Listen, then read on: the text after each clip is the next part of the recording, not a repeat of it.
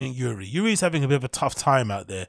Um, the people on Reddit have essentially decided that he is um, what you call it? He is the he's the sit. Yeah, he is the he's the kind of whipping boy to Reddit for the most part. It feels like Yuriy for whatever reason. I'm gonna guess the reason why he's the whipping boy of the Reddit, um, no jumper Reddit and the no jumper V2 Reddit is because he was one of the only people who didn't make any kind of move, who didn't really make any kind of statement, and just essentially sat on the fence, boogie two nine eight style, when it came to everybody leaving off the back of the whole beef between you know Adam twenty two and AD.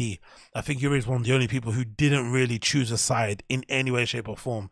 Yes, he is kind of you know linking up with reconnected and stuff, but he did try and essentially keep himself somewhat out of it, not get involved. And then, of course, when he had the extra sprinkling of his girlfriend Riley getting fired, I think some people, myself included, would have thought he would have stepped on just that kind of notion alone and kind of just went to back up his girl. But I guess there's other things at play here. Who knows, whatever it may be. But regardless, he's become the de facto whipping boy of both of those subreddits.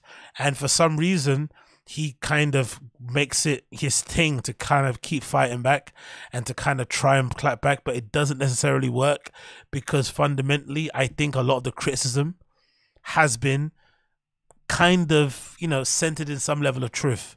Even some of the, you know, dissing and insults and whatnot and teasing has been getting from people. It is centered in some level of truth. And I think it kind of, for me, started off primarily with this Las Vegas trip I think this Las Vegas trip they went on recently, I've got a picture here, um, courtesy of Harmonious Yuriy's Instagram page that features him and Yuriy, him and sorry, him and Riley on the way to fucking dinner out there in Las Vegas.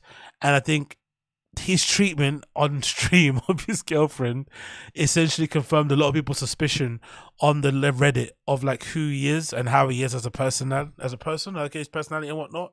And it kind of made made people think that he's a bit of a dork and a bit of a lame.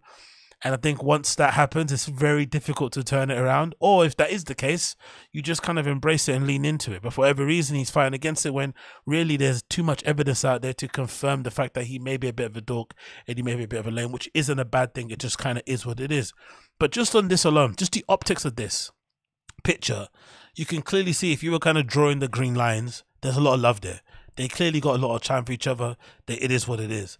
But just in terms of the optics of being in flipping Las Vegas, going out there on on some sort of like couples trip with your friends also, I was just surprised that this kid didn't have one decent leather jacket or like a denim jacket, one decent pair of straight trousers, and one decent pair of shoes that he just wears just when he wants to do, you know, date night shit just to kind of change up a little bit because you're in Las Vegas, it's glitzy, it's shiny, everyone's got their best garms on, and here you are going out on a date night specifically with your girl next to you on your arm, dressed to the nines, a green dress on, bag, heels on, and whatnot, and you're turning up in some cargos and a hoodie.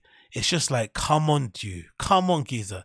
And then the streaming everyday thing as well, that is very questionable. You would imagine just on the date night, you know, dinner thing, maybe put the camera down for one moment, but you know, you gotta fucking, you know, keep up streaming and get the shekels in how you can. But that for me was the one thing I looked at thinking, that's a little bit strange. Like, why are you flipping still doing this sort of shit? Why don't you put the camera down for a little bit? Why don't you, I don't know, change up your outfit just for one day, just to kind of have a little bit of a good time with your girl or whatnot. But hey, everyone does what they does. The thing that's really funny and really hip, and really kind of, I think, um, uh, really doesn't make any sense. And kind of he's kind of calling himself out in one way. Is this Instagram story that he posted just recently where he took these pictures of people that I guess he deems to be incels um doing incel things and then he wrote on top of it these really be the dudes that be trying to give me life and relationship advice. Keep watching the content friends. A lot more to come. Now the funny thing about this is that the people giving him advice I'm only giving him advice because this guy if I'm not mistaken is close to 30 he acts like a 17 and an 18 year old, but he's actually like 28, 29 or something. So he's a grown up. And you would imagine at some stage, getting on live stream and begging for tips and donations probably isn't a great way to kind of live your kind of life and especially long term in terms of you having some level of security. But the idea of him getting a part time job and supporting a streaming career doesn't really seem like a viable option. He kind of looks down on it. He kind of thinks he's above it. But then he's also willing to kind of, you know, essentially go on a couple's trip and maybe potentially damage the relationship just for having to stream on the entire flipping time because he needs it because, you know, that's his only kind of form of income. I just find that really, really funny because, and then the other thing on top of that, to add to lay a little patina on top of this, right? Is that he describes people as incels who are currently giving him advice or trying to get into his ear about how he's acting. But then he revealed, without any encouragement, that Riley's his first girlfriend ever. So his first girlfriend ever has been Riley, which he kind of hit out the park. Well done to him. But it also is a clear example that if she wasn't around, he would be the incel that he describes here because before that he says he hadn't had any relationships with a woman. It doesn't mean he's a virgin before her. He could have been with somebody, but the fact that he acts the way he he does with Riley kind of speaks volumes to his kind of lack of experience with women overall, which is completely fine. My issue and my if my or not issue, but something that I'm kind of curious about. I wonder if you are somebody like Yuriy, who's a you know quintessential dork and a bit of a lame, which is not a bad thing. It is what it is. We have a position in life we have to play why would you care what other people have to say about your relationship and how you treat your woman if she's with you and she's perfectly happy? Why would it matter? Why would you go out of your way to treat, keep, you know, clapping back, responding, clarifying, whatever it may be, when the truth of the matter is this lady has decided to be with you and still be with you because she's into you? Like, why would it actually matter? It really is strange for me. I don't understand this, especially if you're somebody that you would deem to be a dog or a lame. You kind of, you know, maybe hit out of park. You got lucky. You should be thanking your lucky stars and just focusing on making that person happy. You shouldn't be caring what some random people on the internet are saying about you in general. But I think sometimes him responding is a real clear mark of his insecurities, and obviously, maybe some of the responses from people, strangers online, has some truth to it which is undeniable, and that's why maybe he's reacting the way he's reacting. Who really knows?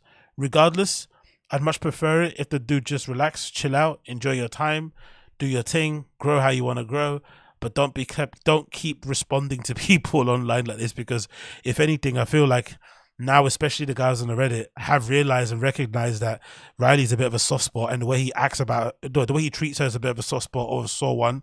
He gets really defensive about it, and they're just going to keep poking and prodding. And then the fact that, you know, they're in a not so stable financial position based on what they said, people are going to keep poking and prodding. Sooner rather than later, you know, the lady, you know, she's a young lady, she might get ideas of her own to do other things.